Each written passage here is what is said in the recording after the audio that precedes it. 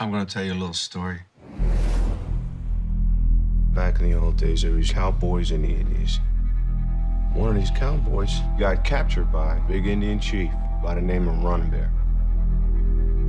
Running Bear got very close. And that is the moment they lost himself.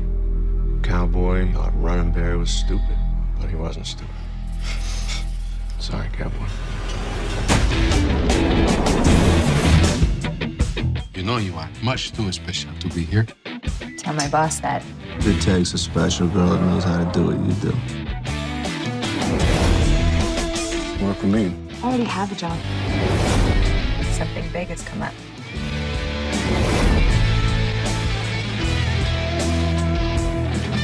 I will never let anything happen to you. What seems to be the problem? Little car trouble? Next time, buy American. Someone's running a shipment along Mel's route. That's where we come in. Other side of the swamp. Look for an alligator crawling across the Chinaman's back. Toss it. Just be cool. Take the door. Guess I got the trucker. All right, I'm not even gonna say it because y'all know what this is.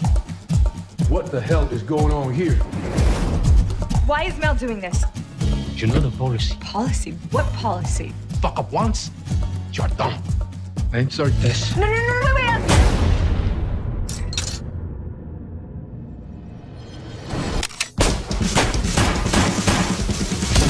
Big fight. Arrows, bullets. Now it goes. Sweet as a little daisy. That's the way I roll. Hey, baby. What's up? You got some balls, woman.